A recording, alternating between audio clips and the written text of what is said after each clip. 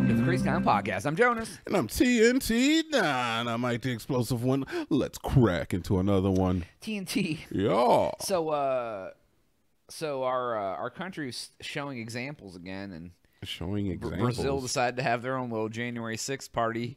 Did you see that? I mean, people get pissed, man. Well, I think the one thing about this that I thought was kind of wild was like Yeah. nobody was in the building. Like there wasn't the government wasn't in session that day. Oh, they were just. They just they were just like, you know, we're gonna do go in and destroy shit. Nobody's here. Like, Why you give them that accent?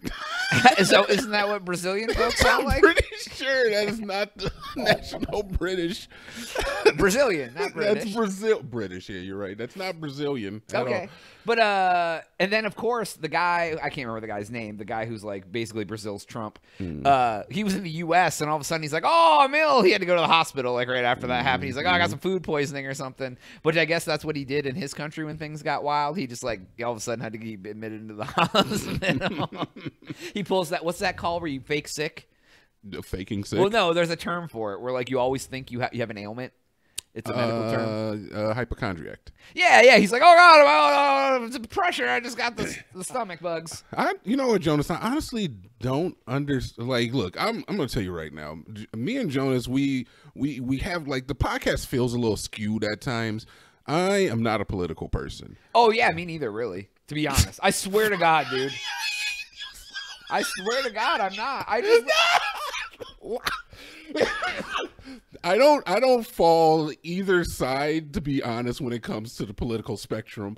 But I mean, I definitely fall more liberal, but like, I think I portray myself a lot farther to one side than I really am. Oh, oh, I mean, sure, whatever.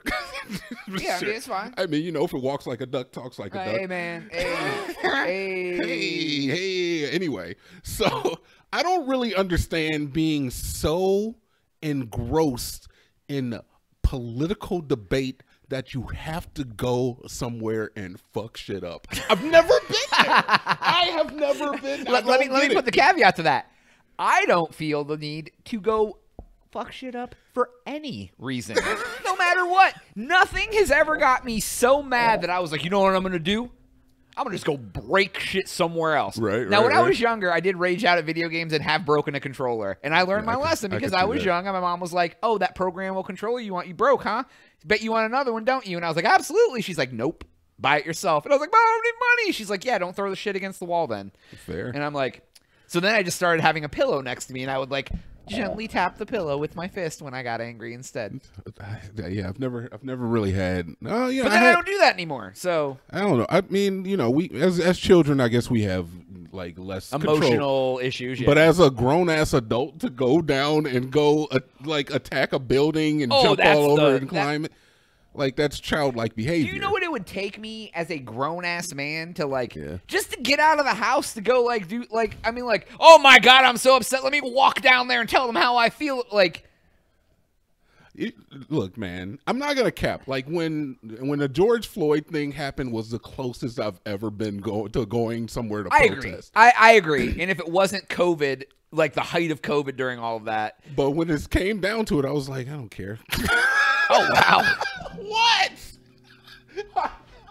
I, I care that the man was killed, and I think it was an injustice. But when it came down to like putting my shoes and making a sign, like I gotta go buy markers and poster board and those stick. I'm not doing all that. tape I don't even know that guy. yeah, yeah. Like, ask me my opinion. It was an injustice. I just- ask me to go downtown and walk around in a hot ass Austin heat with a sign and some markers. That is Fuck actually you. that's a very good point because I like and I don't know if it's just cuz like I've been so emotionally numbed over the years from all the shit that's happened to me and in the world and everything, but like it takes an awful lot to get like like I'll have a, a initial quick emotional reaction like fuck that shit or whatever. Like and then but it's like 30 seconds. I'm like "Brr, brr, brr, brr, brr, brr." that's it. Like by the time I would get up and even go to like walk in the other room to get a jacket, I'd be like, "What was I in here for?" Like I don't get that. Like my emotions don't stay that high for that long about anything. I mean, that's that's probably good. Yeah, like, and I and I get why people. I get, and this is gonna sound so effing crass. People care so much about what everyone else is doing. that part is so true. Like it's like That part is so. it's true. like I can't tell you how many times I've heard people just be like, blah blah blah. Look at this person doing blah blah, blah. and I'm like, why do you care? All right, so at least allow me to play devil's advocate it. with uh, when it comes to political. Uh, Oh, being that engrossed in political stuff, that I really people, don't get at all. People yes. will tell you is that this is this is my country. I'm proud of my country, and I want my country to be the best. What What's your answer to that? Uh, yeah, absolutely, dude. Write your congressman. So, what better way to display my uh, allegiance to my country to go down there and show them that I don't like the way that things are going? and commit crimes. I mean, look, there may be crimes, there may not be crimes. I mean, we But- have the right to assembly. We have the right to protest. Right, yep. We do not have the right to break into buildings. I mean, If they would like even on January 6th, if they would have went down there and just stood outside and not went broken into the building, yeah, it would not have been nearly as of a bad situation. yeah, I mean, they could have went down there and stood on the steps and done all the stuff, and they could have said, "Hey, you gotta get off the steps. It's private property. You know, whatever." The second thing started to get broken, yeah. that was the start of like, because that's what happens. I mean, that's that's how riot. You know, it's like peaceful protest turns into a goddamn Well, riot. uh, As devil's advocate, Jonas, look, the uh, the only thing that is going to sometimes when talking doesn't work, you got to Yeah. take action. All right. Oh, okay, So, what are you doing? What actions are you taking to make this country better? none. Okay. Well, I'm out here breaking into the White House. Well, not me, not me. Let- I'm let not me- doing let- this let me- hypothetical. Let me tell you. Let, me play uh, devil's advocate to this. So, it's just like you say all the time: freedom of speech. You can say whatever the hell you want. There's ramifications to your to your words.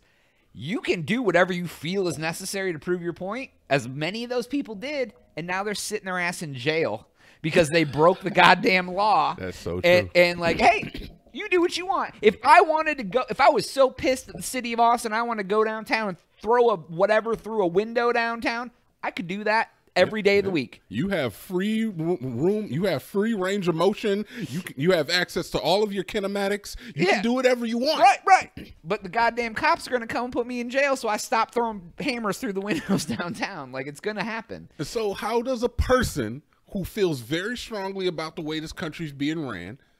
Because when you look, honestly, Jonas, it's, it's I was thinking about it the other day. Okay. When uh, because like obviously.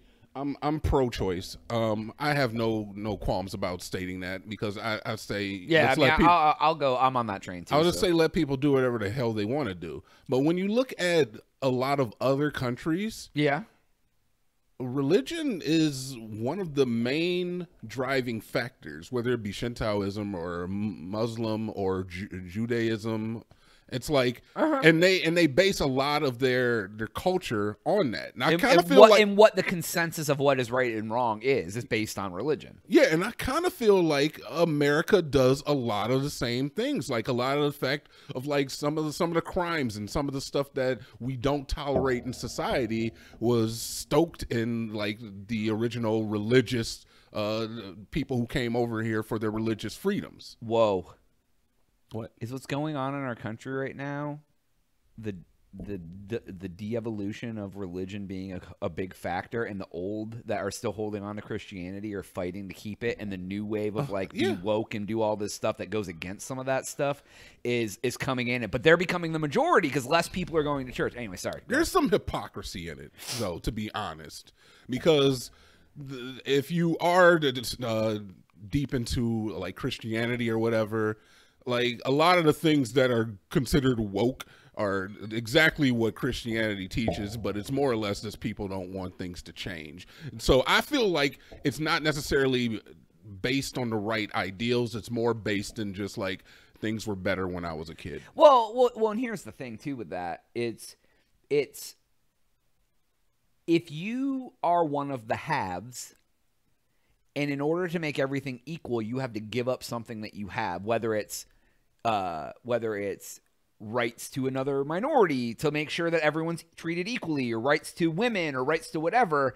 And you're part of the group that's always had everything handed to you and you have to then like give up something that you want. Some people like me i'm like yeah that, that seems pretty fair. Like I, i'm a cis white male. Like you know i get it. I have a lot of privilege like whatever. But like some people are like F no, things don't need to change. I'm not giving up my corner of the market for that fill in the blank. You know what I mean? people I know there's like a certain subset of people when you said cis white male that cringe so hard because like that is one of those terms. It's like no, we don't we didn't say that back in my day. We called people the F word, the N word. the N word on on Xbox. Yeah. and I used to come and I used to come home and beat my wife and nobody knew. Right. Nobody knew. I'd smack her and she'd get up and cook And me now dinner. I got to work with a whatever. And the then I had to work with a bunch of Japanese from Yeah, Orient. Like they say Oriental. the yeah. Orientals, Yeah, it's like oh my, it's like Lord. Vietnamese. it's it's i mean like i feel i really didn't and like we can wrap up soon but like i feel though like we're really it's gaining all that stuff is gaining so much traction and the people who are so resistant are getting so old that we really are on a precipice of turning a giant corner I mean, that sounds great, Jonas, but when you think about it, man, who the country is run by mostly old white dudes elderly guys. but they're all gonna i mean but they're all getting so old Yeah, I mean, yeah. that like within the next 10 15 years mm-hmm. they're not going they, they just aren't going to be alive or whatever to be able to still have the hold they have and they can try to pass it down but now we're doing so much better of letting like diversity and everything into our elected officials and whatever and i feel like for the future that will be a good thing it's it's going to mm-hmm. take another decade to get anywhere where we need to be And, but and the most impossible thing you can do is you can't fight against the flow of time.